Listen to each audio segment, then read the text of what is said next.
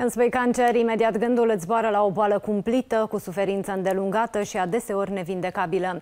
Totuși, cele mai multe tumori orele pot fi vindecate, chiar și în formele avansate. Din sute de cazuri de pacienți orele tratați, peste 80% dintre pacienții cu stadii grave de cancer orele au avut o reducere semnificativă a încărcării tumorale, iar peste 50% dintre pacienți au obținut o vindecare completă. Despre acest tip de cancer discutăm în continuare cu Radu Berceanu, medic oncolog. Bună ziua și vă mulțumesc mulțumesc că sunteți alături de noi.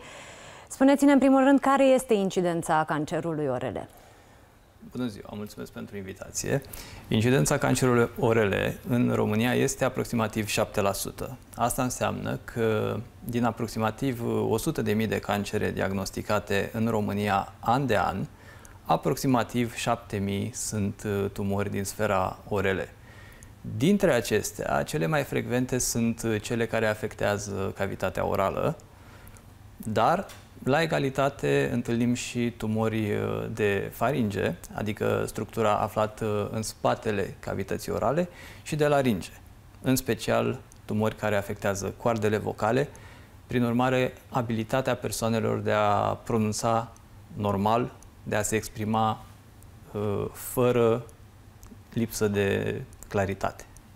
În afară de această incapacitate de pronunție despre care ne-ați vorbit, care sunt semnele care ne pot duce cu gândul că am avea o astfel de afecțiune? Care, ce ar trebui să ne tragă un semnal de alarmă? În general, orice schimbare persistentă din uh, zona gurii, a nasului sau a urechilor. Cele mai frecvente simptome sunt uh, problemele de vorbire, deoarece acestea pot fi cauzate atât de probleme ale laringelui, cât și de probleme ale limbii, ale cavității orale sau uh, ale altor structuri din vecinătate. Uh, iar alături de acestea, adeseori, pacienții prezintă disconfort în zona afectată, fie că este limba, fie că este o amigdală, uh, durere și, nu de puține ori, probleme la înghițit, chiar și durere la momentul în care înghit. În alte situații, când uh, aceste simptome sunt uh, inaparente sau sunt ignorate un timp și atribuite altor cauze, boala avansează. Și în aceste situații, uneori apar uh, umflături în părțile laterale ale gâtului, prin extinderea bolii din zona unde s-a format, cum ar fi la limbă sau la laringe, către ganglionii regionali. Și acestea se măresc uneori chiar foarte repede. Alte simptome pot fi date de cât de bine auzi. Se întâmplă ca deodată să nu mai auzi bine cu o ureche, să ai senzația de ureche înfundată. Uneori chiar ambele urechi sunt afectate. Și bineînțeles, se poate întâmpla același lucru și cu sensibilitatea olfactivă, lucrurile nu mai miros sau miros mai puțin sau treptat îți pierzi mirosul. Toate aceste simptome despre care ne-ați vorbit mai devreme pot fi ușor confundate cu o răceală. Da. Foarte ușor. Ei, unde facem diferența între o simplă răceală și o posibilă afecțiune de genul acesta? În primul rând, la persistență. Răceala nu durează atât de mult și, în general, simptomele astea sunt subtile și se agravează Rapid. treptat. Mm, treptat. treptat. Da. Uh, de exemplu, probleme la vorbire. Inițiala parcă are gușeală. Nu este prezent întotdeauna. O pui pe seama fumatului, pe seama faptului că ai băut ceva apă rece, se întâmplă așa o săptămână, două, trei. După un timp, cei din jur observă că nu te mai poți exprima bine și lucrurile pot evolua. La fel și cu mirosul, uh, la fel și cu alte simptome, cum ar fi anumite secreții care poate să apară și pe urmă pot să dispară.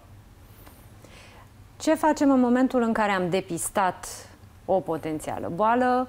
Uh, spuneam ceva mai devreme că 80% dintre tumorile uh, orele uh, sunt, se reduc da? și 50% sunt chiar vin, mă rog, vorbim despre boală în primul rând, boala vorbim se vindecă. de vindecare, da. Este, este un aspect foarte important și care trebuie avut în vedere de, de toată lumea, deoarece când vorbești despre cancer, percepția generală este că nu mai ai nicio șansă și că lucrurile se vor termina.